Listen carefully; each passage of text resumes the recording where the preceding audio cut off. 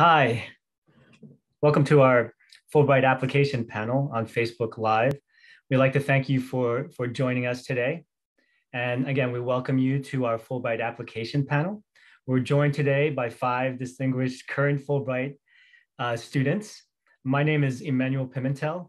I'm a senior program officer for AMIDEAST, and I work with the Fulbright program for the Middle East and North Africa. Now, before I introduce our, our panel, uh, I'd like to remind our guests that you can ask questions uh, at any time. Just post your questions on the comments section and we'll try to answer as many as questions as we can in the next hour. Now, um, I'd like to introduce our five panelists who are currently in the Fulbright uh, student program.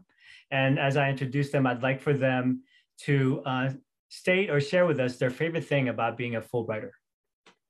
Now, our first uh, panelist is Raid. He's a second year student uh, from Tunisia, studying an MFA in animation at the Minneapolis School of Arts and Designs. Welcome, Raid. Welcome. Uh, thank you, um, Emmanuel and everyone who are joined us today.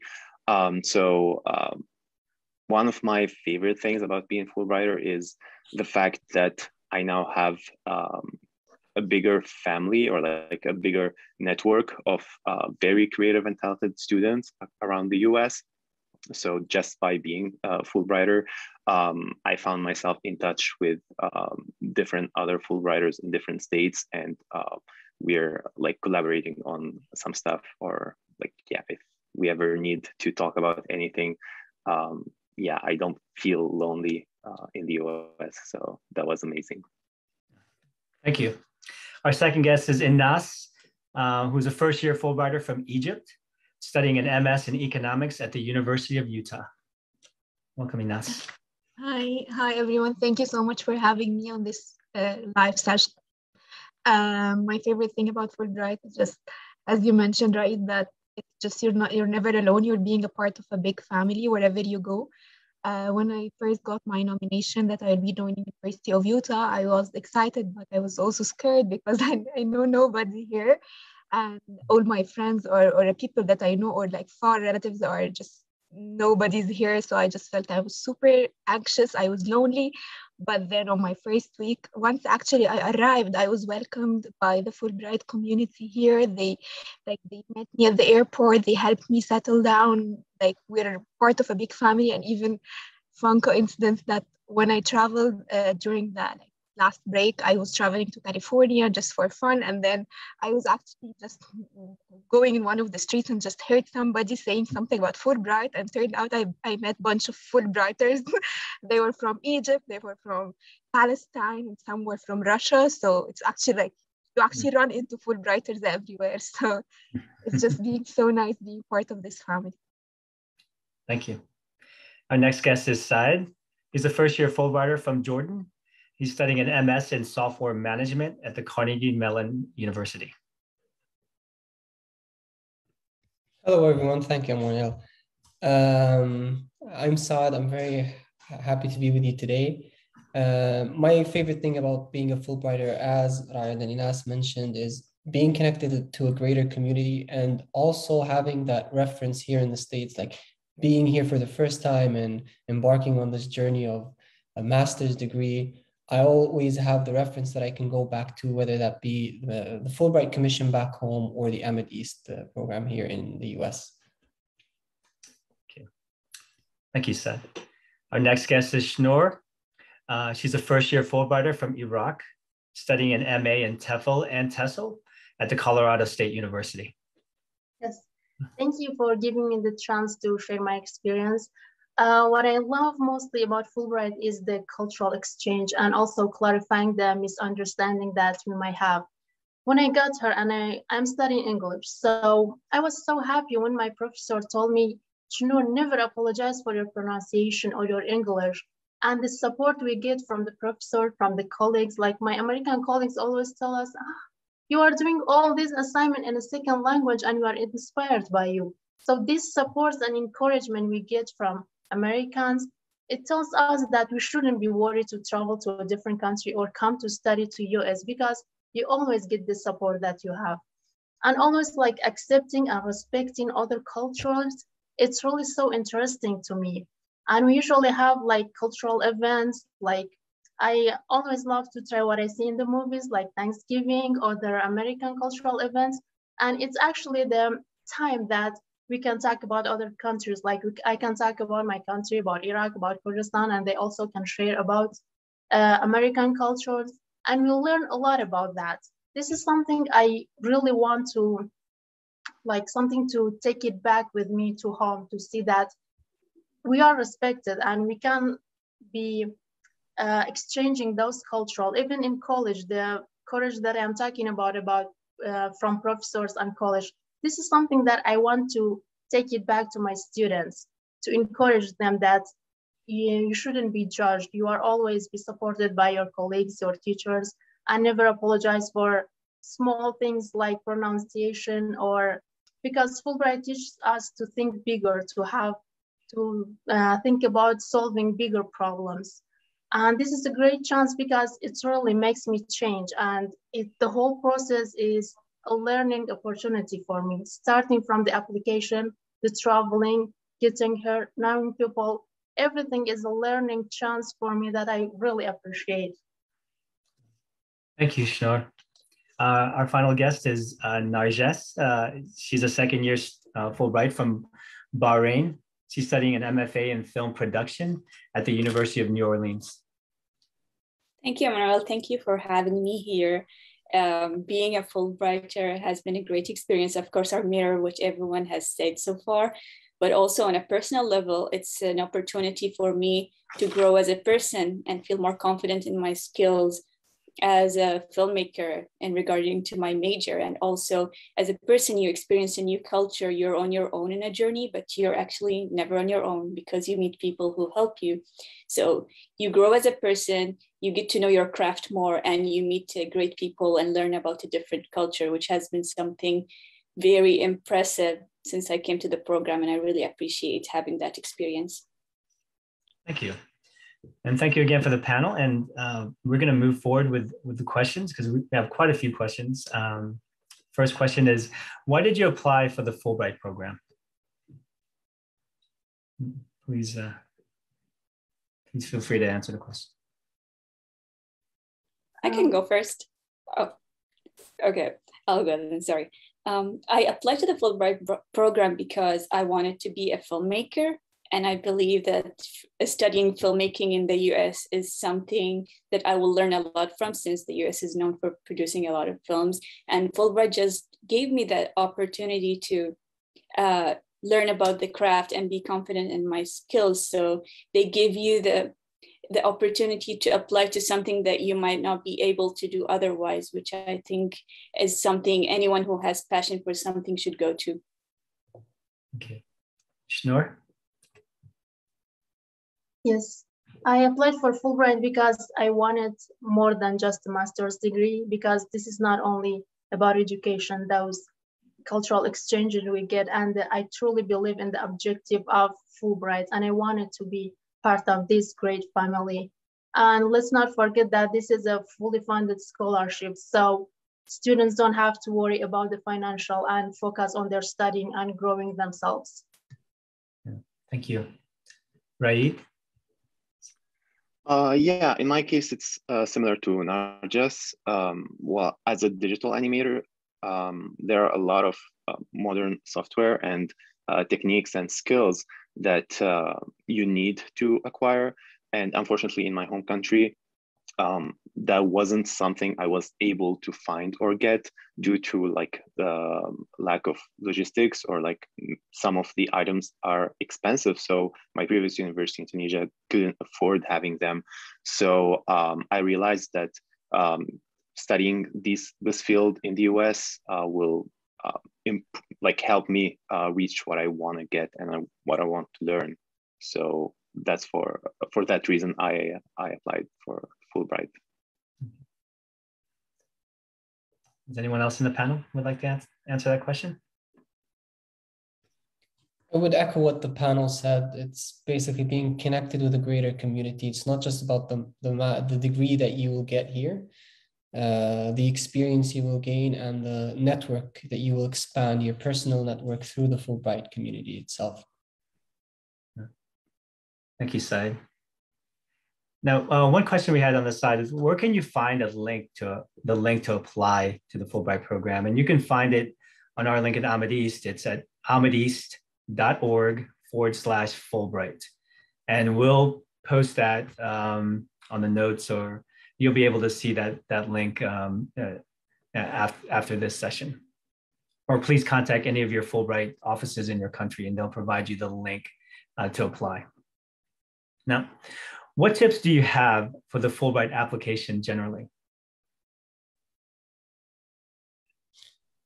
I think my greatest tip is just to start as early as possible and to like invest some time, especially on the essays, because these require some time for you like to perfect them uh, in a way just to reflect who you are. Because for me, the essays, I, I'm not a good writer, so so it was for me it was a challenge a bit like to have like i have to explain who who am i and what uh, what i want to why i want to apply to the program and what are the characteristics of the program that i'm applying to and just like one page. So i guess what helped me that i started as early as possible i read like i i invested much time in writing the essays. I wrote like a couple of drafts. I had some of my friends review them just to get me feedback. So all these steps just require some time. So I guess if I hadn't started earlier, I would like I would have been stuck at somehow to be able to like to produce the essays in a quality that I was like, okay, I was just confident in applying with these essays. Thank you. Shneur? Uh, yes, just one tip. Um, when you first start, especially for those who are first time applying for it, at the beginning, it may sound a lot of information and too many uh, scary stuff. But I just want to say this is you know like uh, spend some time at the beginning, just go through it because there is enough time. Just go through it and see what is difficult to you. Some of them are just personal information, and you can start with the easiest one. Then focus on the writing and the essays. So I just want to say, don't be like afraid of the application. Just start reading through it. Give yourself some time to understand it, then start uh, filling it. Thank you. Anyone else would like to, to provide any tips? I would like to say, like, like of course, as Inas said, uh, start early is important, but maybe to some people, uh, they can do it within a shorter time frame than others. But most importantly, I would say you would have to look within to understand exactly what your purpose and reason is for applying and know exactly what you want to do. That's the most important thing. As long as you're as you're very confident in what you want and how that and how you can benefit your yourself and your community when you come back from what from what you want to study. And you can put that in writing and argue about it then uh, that's the best thing you can do.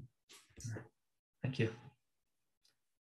Um, we have a, a question on the side about eligibility criteria what are the eligi- eligibility criteria it differs for for each country. So we suggest that you contact um, your fulbright office in your country to uh, to discuss eligibility. Um, we we encourage you to do that. Now next question for our, our panel uh, what is your advice on letters of recommendation? Is there a criteria you suggest and how did you pick your recommenders? Said? Yeah. Uh, first of all, I, as I recall from the application, we were to select three recommend recommenders.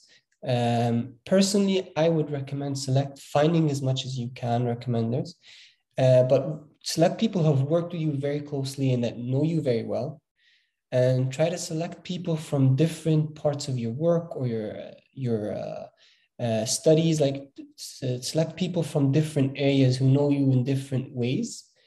Uh, and most importantly this is a tip that another fulbrighter told me is contact them as early as possible. Like don't wait till the end to contact them. Make sure that you get in touch with the people that might recommend you as early as possible and uh, give them at least one month's notice in advance so that you can keep on following up with them.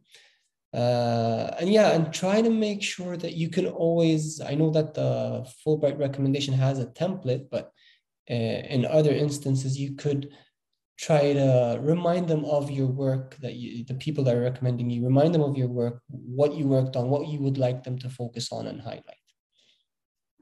Yeah. Narges?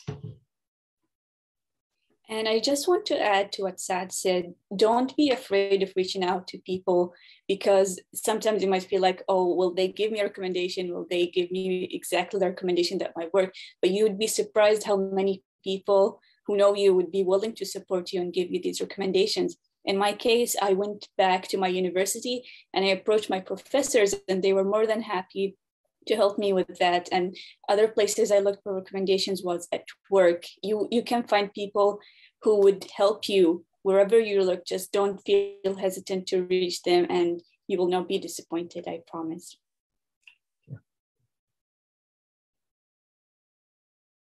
Were there any challenges to finding recommenders for any of you? Narges? I'd say the challenge was like the timing, as like as you mentioned, like some of my colleagues mentioned that you have to give people time. So I remember that I asked three recommenders, and then some like some of them were not able to like they were just have so much busy schedules. They were not able to help me get the recommendation letter before the deadline. So what helped me that I already asked other like more than three people. So when some somebody wasn't able to provide me the recommendation letter i had like another plan. So i was able to get like secure my three recommendation letters by the deadline. So as as like they mentioned you have to start early on this because actually you're, you're like you're depending on some people to provide you with this. So you have to be mindful of their schedule and then also to be to have like another like plan if somebody wasn't able to help you get what you need by the deadline. Thank you. Thank you. Um, I have a question uh, concerning age limits. Um, are there age limits to applying? There, there are no age limits. So don't be concerned about being too, too young. You definitely need to graduate out, you know, complete your, your undergraduate degree, but um, there are no age limits. Um, just check with your your Fulbright program officer, I mean, office in your country. Uh, if you have any questions concerning that. Uh, next question, what is your advice on letter letters of recommendation? Is, you know, is there a criteria you, sug, you know, you sug, oh, excuse me, I, I just asked that question. Do you have any advice on research statements or personal essays? Right? And then. Uh, yeah, so um, one of the things that you need to keep in mind uh, about like the essays, uh, they really take more time than what you will probably expect. So uh, start working on them in advance and uh, allocate a lot of time for that, like uh, maybe an hour or two a day just like writing down ideas and thoughts uh, that you would like to include and then the next day reread that and make some modifications and try to improve or add or like um, remove some parts if you don't like. Um, it's always good to show that to friends and get their opinion. Um, and definitely make sure that you don't have uh, like grammar mistakes or like issues with the writings um, and yeah so that's why it will probably take you more time than uh, what you expect. So start working on it a bit early. Okay. Nor? Yes, uh, I just want to say that um, it will make your application, your writing stronger if you have experience to add to it or examples. Uh, let's say you have a gap in your country and you want to study that subject. If you encounter that gap, for example, you can say when I was working at that field or when I was teaching, I saw that this gap, this gap with student or with employees, that's why I want to improve that. So don't hesitate to include example because it will make it more clear to the to those who are reading it. Why actually, how do you know that there is a gap? What experiences did you have? Plus, I also want to add that um, it's a good idea to know beforehand why are you applying for master's degree. Just have a clear goal. I want to study master's degrees. I want to study it in the US, why United States, and also uh, why Fulbright. So when you have those answers with yourself, it will make it much easier for you to just develop your paragraphs and explain it all in a more easier way. Yes, thank you. Ines? Yeah, and just add to what Norris mentioned that, yeah, you have to be very specific about what you're saying, but you have to be very authentic about your experience.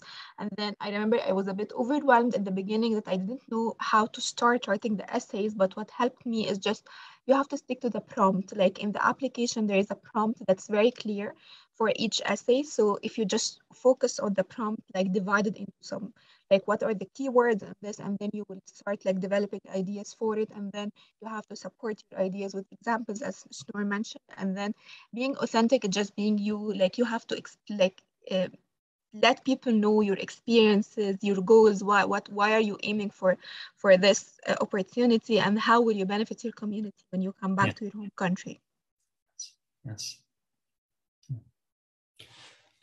Saad? Yeah, I'd like to add to that.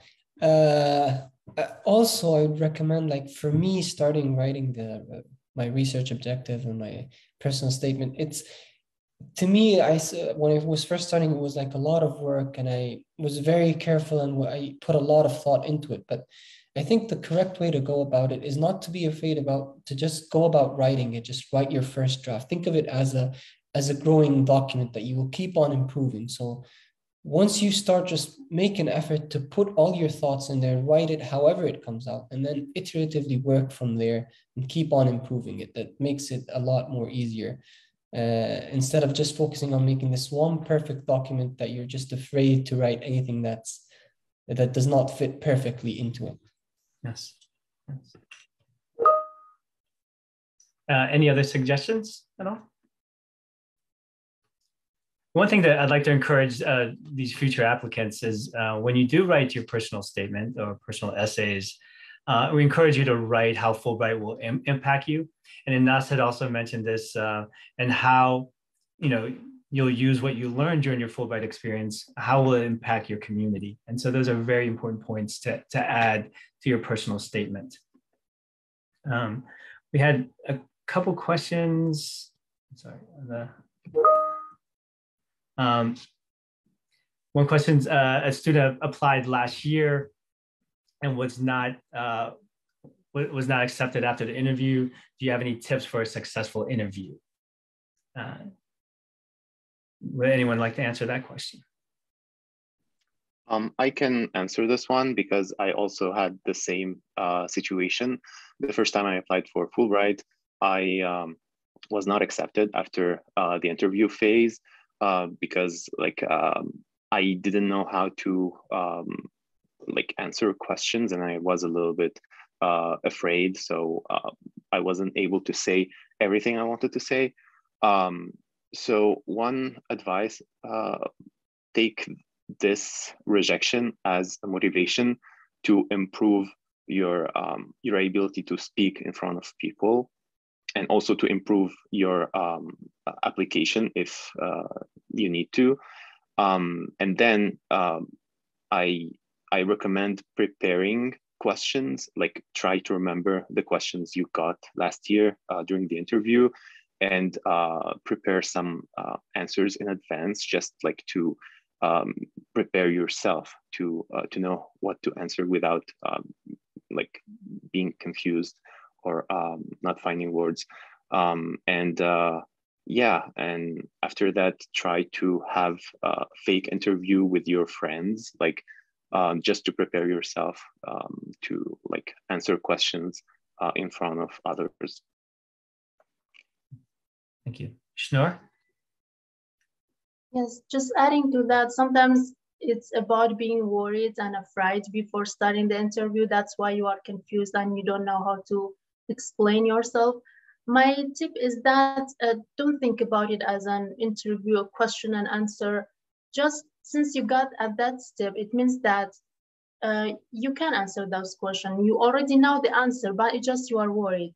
So just think about it that you are a person who are talking to a group, a panelist that you want to say, I want this Fulbright scholarship because I can make use of it and I can come back and make a change in my country you already know that you just have to communicate that in an easy way.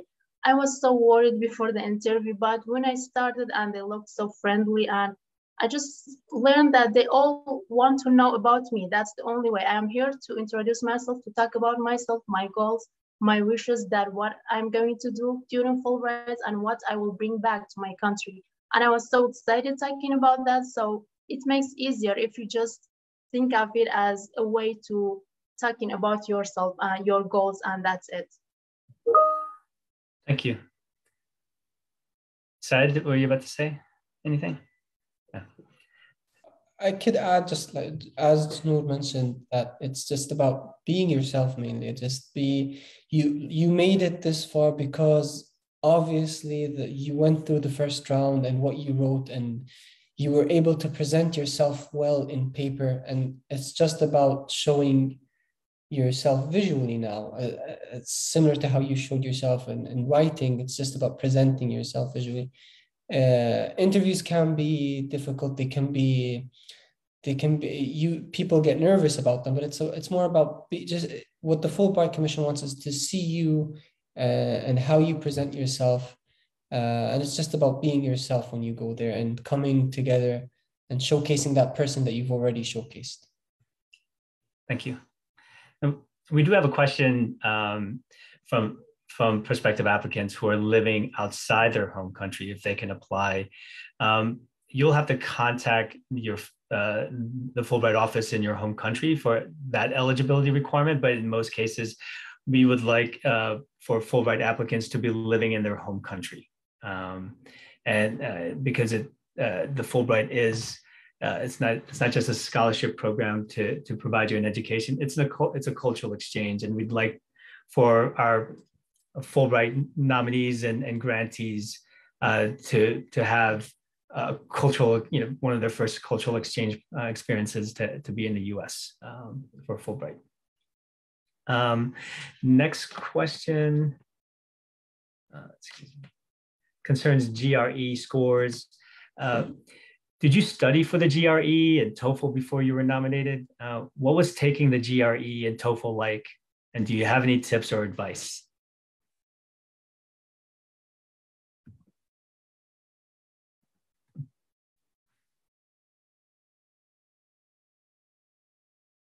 Any?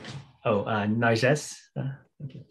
Oh, well, the first thing I want to say about the GRE and TOEFL is you don't need to have those when you apply to the Fulbright. And that was a big advantage to me because when I looked at the requirements in my application, I was like, I don't have these, but I was able to still apply and then take these qualifying exams later on. So you, you have time to study for it after the application.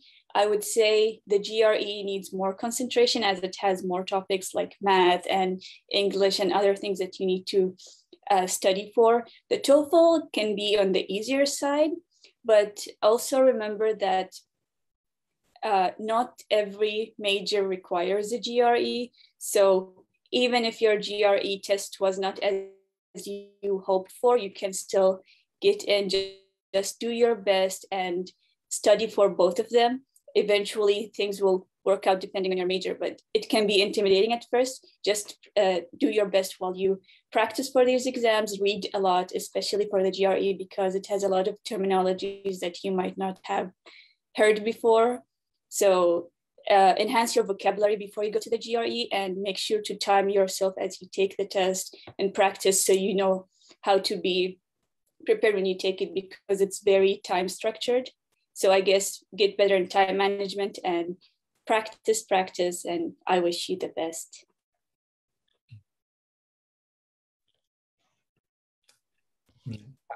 I can add, yeah, please. Uh, I don't know. I think the application might be different from place to place, uh, but uh, personally, I do. Uh, the GRE and the, TOEFL scores were, were you were required to apply to the Fulbright Commission in, in Jordan.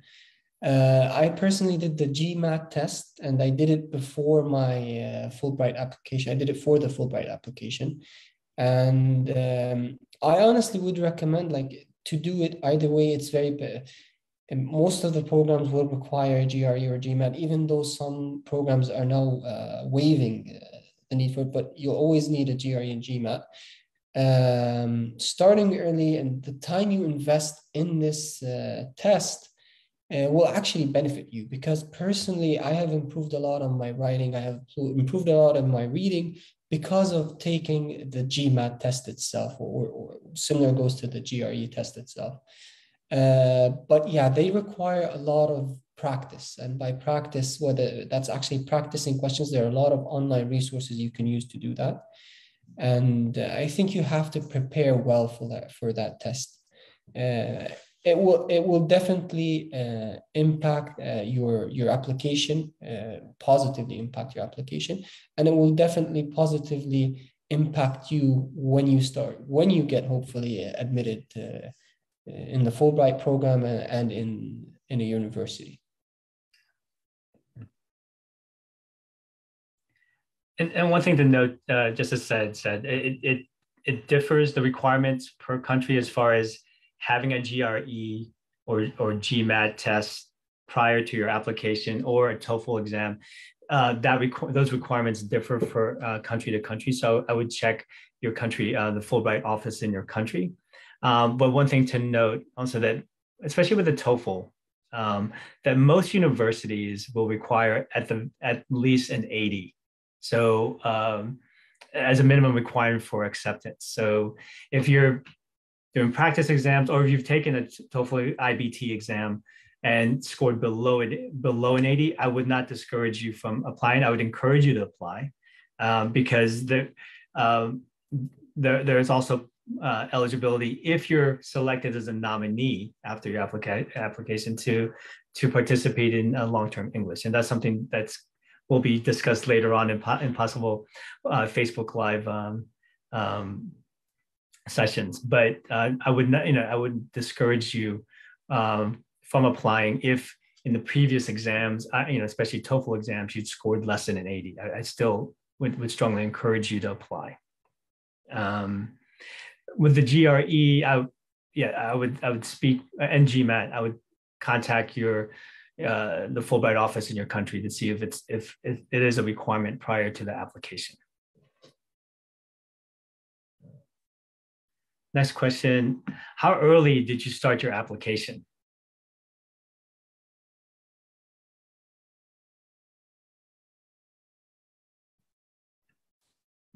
Did you? I can go. Go ahead. I think uh, it depends personally on how much time you usually take, but I started really early on. I think it was at least four months in advance because I knew that I wanted to apply and I was preparing to apply. So I started early on. I know other people who started like um, two months in advance, uh, six weeks in advance, but it depends on, first of all, where you are in your preparation in general. Are you ready to write your personal statement? Are you ready to take a GMAT or GRE exam? Um, and yeah, if if so, how much time will it take you? But the more you prepare, the better chance you will have, of course.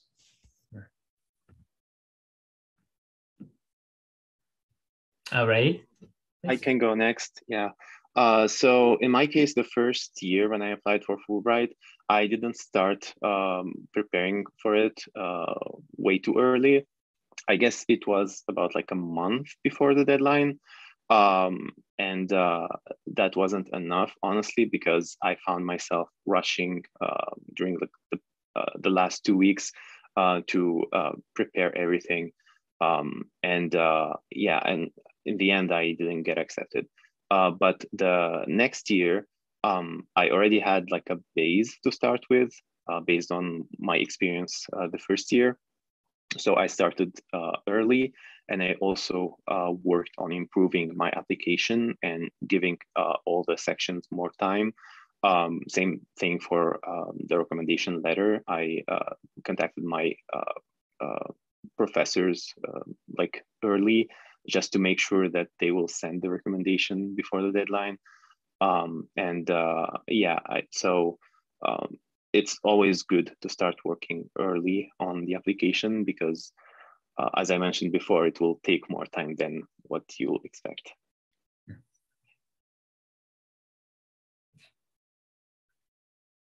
Any other answers or advice? Yeah, I remember that um, application in Egypt like started in February. So I started like mid-February and then I, as Noor mentioned before, I just went through the application, knew all the requirements. I just started to fill the basic like personal information and then I started to work because I remember that the application in Egypt required like language proficiency uh, test. So when I was applying, it was like in 2020 when the pandemic hit. So I was lucky to have had the chance to even because I started early, I had the chance to have an exam. But like if I just like waited for more than two weeks later, all the testing centers were like, shut down and everything. So actually like starting early benefited me. And then yeah, and it took more than much more time than I imagined. I remember like okay, although I started like working on the essays maybe like in March, I spent like more than two months working on them. So that's why you have to be mindful of your time. Thank you. Um, I had a question uh, on the side. Do, do, you recommend applying for the Fulbright program before taking or pursuing an MA degree or after? And so, um, what I recommend is that you uh, you can apply for the for the Fulbright program right after you graduate um, from your undergrad degree. it, it is it's a master's um, uh, scholarship program. Um, and but we do recommend. I well, I you know yeah we recommend that you you do complete your your undergrad degree before in a timely manner before the start of the summer you know the summer months before the, the master's program begins in the US. So it's it's very important that most universities will accept you conditionally as long as you complete your your bachelor's degree prior to arriving in most in most cases the summer early summer before you arrive in the fall. Now do you need a, a master's degree to apply? You don't. But for those in some countries who completed a three-year licence degree. There are a, a large number of universities in the united states that will not accept a three-year licence degree and and students who who after their licence degree uh, completed a master's degree and added two years to their to their educational academic history, um, that was sufficient to for those for many of these universities for them to apply for for their master's programs. So just be aware, uh, it's not impossible to um, to to gain admission to a university without uh, a master's degree, but it could be challenging if you only have a, a three-year licence. Uh, and and with a three years licence, there, there's there's there's enough universities, but it, that that accept the licence, but it might not be the university that you're looking for or or trying to pursue, and that's where we you know we you may be encouraged to to to apply for a one year master's or uh, or a two year master's in your home country before applying to uh, to a graduate program in the U.S. Um, under the Fulbright, uh, because it will enhance your your your CV, but also provide you more opportunities to apply to, to other univer- you know, more, more universities in the US. But um, you do not need a master's degree to apply to, uh, uh, to the Fulbright scholarship. I hope you answered that uh, well. Uh, next question, what are some of the benefits of being a Fulbrighter?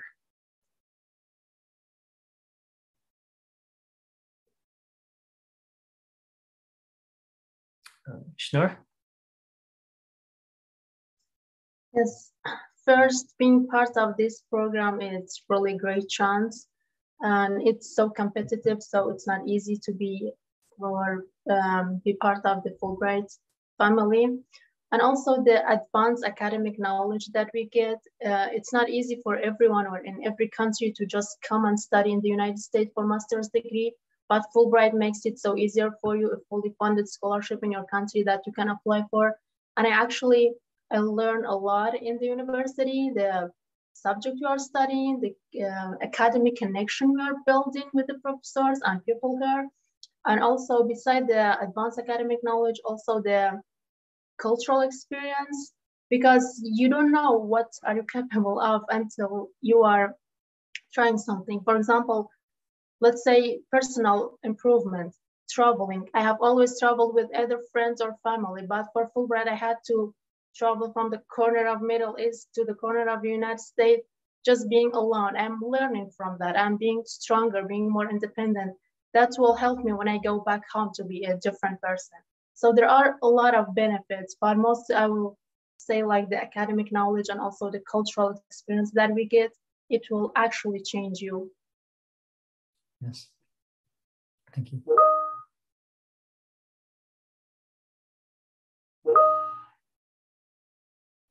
Any other answers? Um, I can I can go next to talk about my experience. One of the uh, benefits and like advantage of being a Fulbrighter is whenever you have a conversation with anyone, especially like from the professional field or like your professors or anything, just the fact that you mentioned that you're a Fulbrighter uh, gives you like a special spot for them. So they, uh, because they know it's a highly competitive um, scholarship. So if you got this scholarship, must be that you're really good. So um, they listen to you. They uh, try like to um, uh, free some of their time just to have a conversation with you. And definitely they want to know a lot about your culture and your background. So uh, it's like working uh, on both ways because by um, telling people that you're a Fulbrighter, um, they become uh, curious and uh, interested in knowing more about you, uh, about what you've done uh, and like your portfolio if you're an artist, and definitely like what are the um, what background you have and your culture definitely. So Thank you.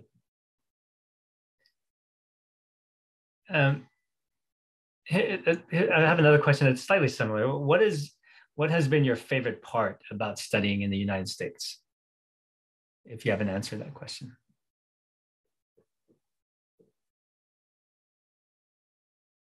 Najes? Well, there are a lot of favorite parts for me from studying in the United States, but I must say that it's a very friendly environment if you come and you feel overwhelmed. Studying in the United States has been a very flexible experience to me because, uh, as everyone mentioned before, you create a family here. So you have a, a big supportive group. Your professors, your colleagues are all understanding, and they also are aware that you came from a different place. So they help you adapt to a different environment you learn from them they learn from you you get to share your culture with them and they are very interested to know and learn about different cultures very friendly people.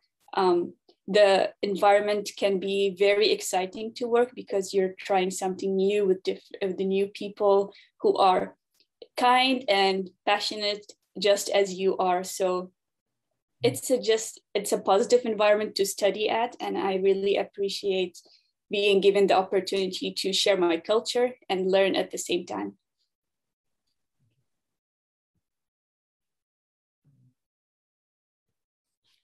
Saad? Yeah, I'd also add, of course, a big part of it is, as Narjas said, it's an opportunity to share your culture uh, with people here in the States. Uh, also, a big thing, a part of it is um, you're actually at the heart of a lot of where the of where the research is happening, and you're exposed to um, to the uh, to, to the latest research. What you if you have something that you're working on and um, uh, you want to get connected with someone with anyone in that field who is on the forefront of that field, uh, you can through your faculty through through your university network or, uh, or and so on. So there are no limits to what you can do in a research and academic field here being, in, being in the States. Thank you. Now, some other questions. Uh, what was it scary to leave home and move to the United States for two years or one year, depending? How have you dealt with homesickness?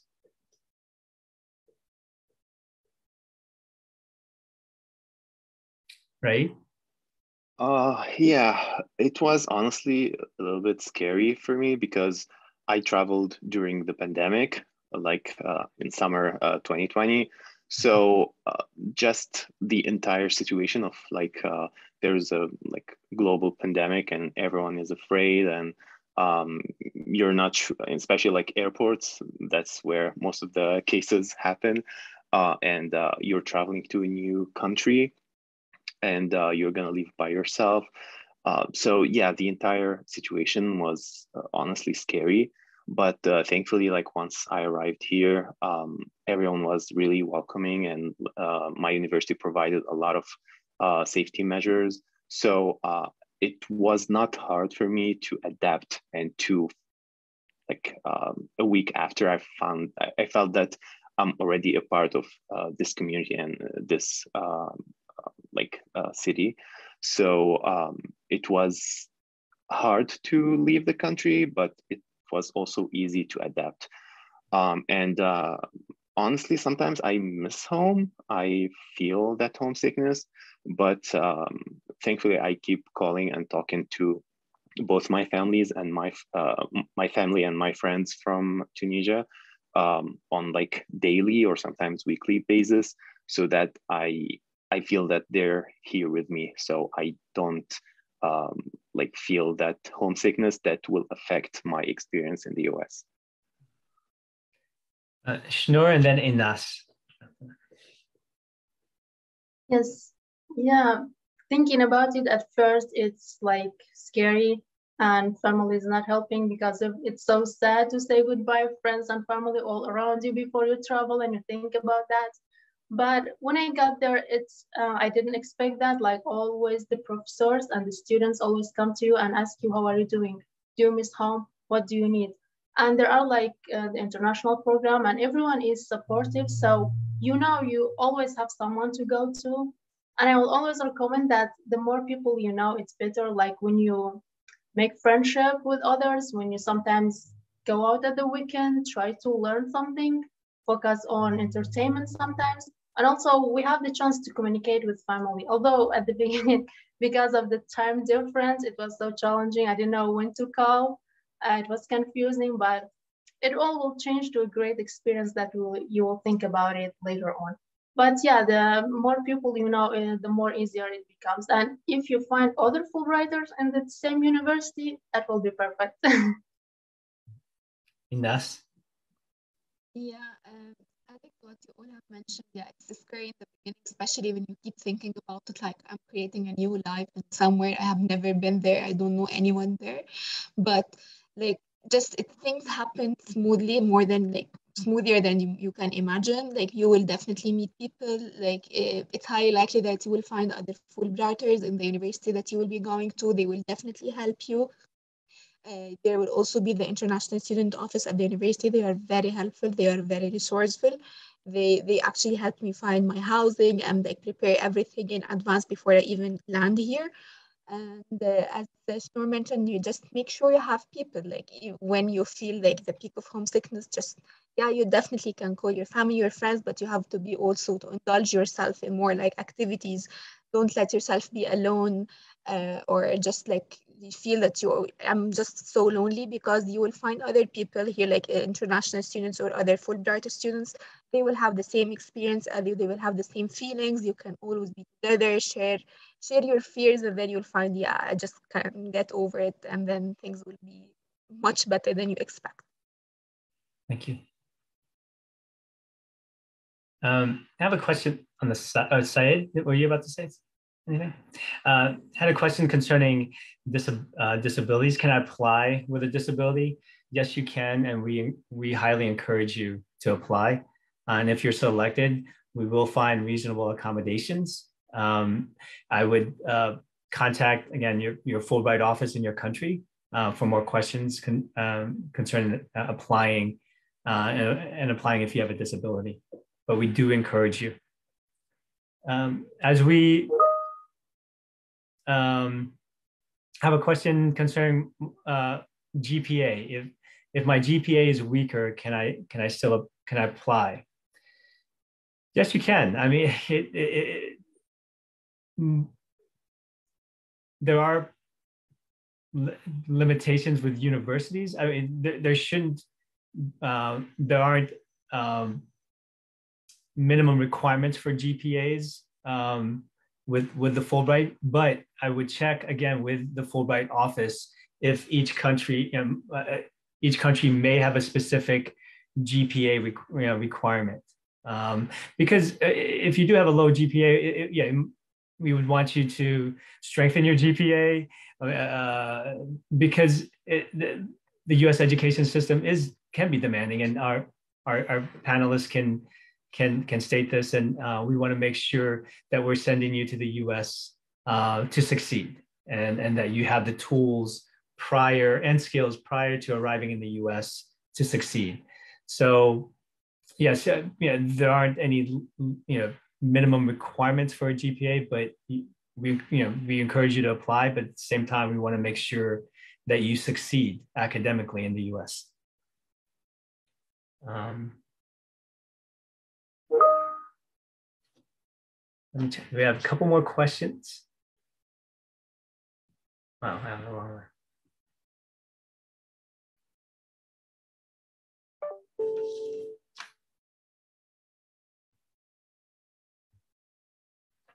Okay, so we have a, a student that, uh, oh, we have an applicant that has a question. Um, we'll finish the degree in three years instead of four, and approximately we'll uh, finish the requirements by the end of August.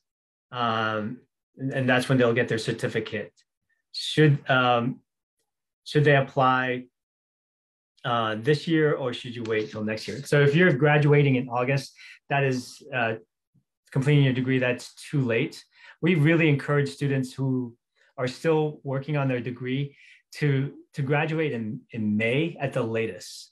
And, and even though the, the, the degree program begins, uh, most degree programs in the US begin in late August, you still, we still have to provide time to, to apply for, you know, uh, apply for your visa. And that could take, that could take weeks or that could take months.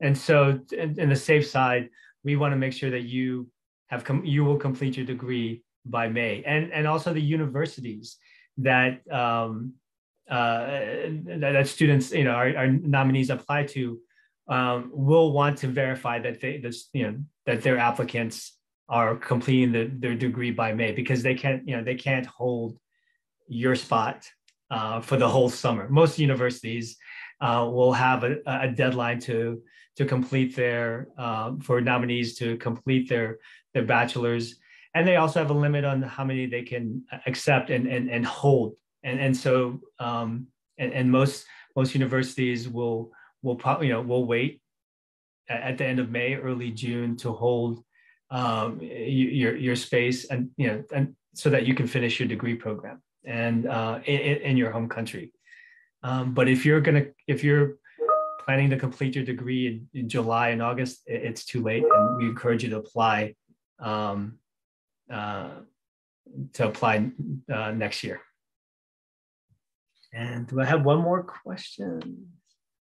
Manuel, can I can I just add one note? Sorry, I, yes, regarding please. your previous note on the GPA. Yes. Uh, I, I'm, I'm pretty sure you're more aware of the application process itself and the acceptance criteria, but I just personally, I wouldn't like people to feel discouraged, even if their GPA is a bit low, because it is one factor in multiple factors of the applications. And if you can make up for that GPA number factor through your GRE scores, GMAT, as well as your personal statement, your research objective, you will always have a shot, in, in my belief. And please correct me on that if I'm mistaken. No, that I mean, you're right. I, I, the GPA and your transcripts are one aspect of your dossier, academic dossier that we send. They do look at uh, your CV, your work experience, um, other experiences that you have. Now, you also uh, have to, uh, if you do have a slightly low GPA, um, adjust your expectations as far as where you want to apply, because Eh, for those really highly competitive universities, you're competing with with with nominees and applicants with much higher um, um, GPAs, and that's and for some of those universities, that's what they're looking at GPAs and um, along with, with, with the other aspects of uh, work experience and other experiences. So we for those with lower GPAs, we ask you to uh, adjust your expectations. Um, but also you know as far as selecting universities and that's what your program officer at AMIDEAST or or or IIE is there for uh, to help you uh, select the, the correct university that fits uh, your criteria and your dossier. Um, you, we, we encourage you to, to, uh, to have a flexible expectation as far as uh, you, you, the universities that you will apply to in the end. But that was a good point, Saad. It's, it, it's not just your, your grades, it, it's also, again, your work experience, other awards and experiences that you have, your recommenders, um, that that will um, decide whether or not you're accepted at a university. Yeah. I think we have time for one one more question. Um, have you been able to make American friends? And I think you've mentioned that, um, but uh, I know for for Raed, he arrived in August 2020, in, the, the, height of the pandemic when when uh, everything was virtual. Um, I'd like for him to to share if he was able to make friends, but also for the rest of you as well.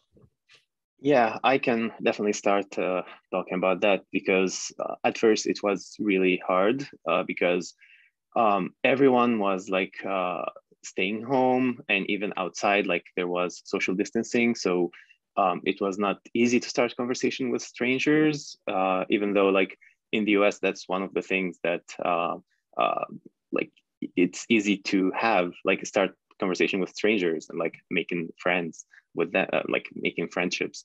Uh, but uh, unfortunately, like when I first arrived, that was difficult. I wasn't able to do that. But thankfully, um, uh, being a part of the uh, community uh, at my university and like attending classes with uh, multiple students and um, having conversations with them uh, virtually um, helped me to like start making connections. And like through them i was able to have more friends. And and then like soon um, everything became like so connected that uh, I was able to have uh, more friends and uh, I was invited to like uh, uh their holiday uh, parties or like uh, some events or stuff like that. So yeah, that, that was definitely a good experience. Anyone, anyone else like to share? Yes. Yeah, I also would like to add that universities tend to tend to have resources for international students. So if you come here and you don't know anybody, they will take care of you until you're comfortable. I remember I also came in the summer of 2020, so it was an overwhelming experience, but the Office of International Student really helped me uh, get connected to other Fulbrighters and they helped me settle in. Other than that, your classmates are also going through these things when you first come to the program. It's your first day but it's also their first day. So it's easy to make connections with your colleagues and uh, get to know each other as i'm sure everyone during these times have concerns and worries but i guess that's also one thing you can connect through. Uh, but eventually you will make and the more you go further in your program, you will learn more and get to know more people. So you don't have to worry about being alone. Eventually, you will connect with. Thank you. Yeah, I have one thing to add as well. Um, clubs are uh, a good resource for uh, making connections on campus. Um, so you can either uh, join clubs or make your own uh, club, and that's what I did last year when I uh, like at some point I didn't find a club that fits me perfectly or like fits my needs. So I launched my own club, and uh, that gives you um, uh, the opportunity to be like a leader in your community and uh, at the same time make connections with others. So yeah. I would also like to add that uh, it's very nice to like you're making friends here in the states and also through your university as just mentioned like you have the international uh, community you make friends internationally and through your fulbright network you, you make friends from all around the world not just from the states and that's that's the beauty of it now before we close, uh, is there anything else that you'd like to add before we, we end our, converse, our panel? Um, I can just say to anyone who's uh, watching this live right now and still didn't start uh, applying for Fulbright, even though they they know like uh, that um, they're perfectly eligible for it. I would say start working on it today. Don't delay that. Um, just start doing it, and you will not regret. You'll thank me two years from now. That's great. That's good advice. Well, well, uh, Narges Saeed? Uh, yeah, I just want to add to what Rod said. This will be a life changing experience. You will get to introduce your culture, you will learn from a different culture, and you will also learn. So it's going to be two to three years, and you will benefit a lot for a lifetime. This is something that will change you for for your rest of your life. So please, if you ever see this, um, if you're interested in applying to the Fulbright, do it. It's a positive experience that will change you for the best. And last one, Schnur. I just wanted to say that don't miss that chance. We may not have enough time here to talk about all the advantages that Fulbright have, but this is a great opportunity that you should not miss and you should apply for it. Thank you. Well, I think uh, we just uh, we're a little bit past the hour, so I, would like to thank everyone for joining us uh, on this panel. I specifically wanted to thank our panel of Said, Raid, Schnur, Narges, and Inas. We wish you success this, this semester. And if you're interested in applying for the Fulbright Foreign Student Program, visit our website at amideast.org forward slash Fulbright. Uh, the website will, will provide you information on eligibility requirements for each country, some helpful tips on the applications, and there are links to, um, to, to, different, you know, those different tips. Uh, the deadline differs for each country. So the first application for one of the countries is May 1st. So get started. Uh, we encourage you to. Uh, we will be hosting another Facebook Live in the week of April 11th, and it, the focus will be under, understanding essay writing and, and understanding plagiarism, which is really important. So please join us, and uh, thank you again um, for joining us, and, and have a great evening. Bye-bye.